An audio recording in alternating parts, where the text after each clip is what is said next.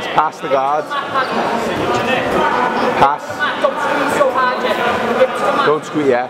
Get, you want to pass with your right leg. Knee slide pass. There you go. Knee, keep knee sliding. Try and get that right knee through the guard. There you go. Cut with your knee. There you go. Good. Don't squeeze too much. You need to get the pass first. Keep him in the dark. And try and get that leg free. There you go. There you go. Nice. Now, he hips down. There you go.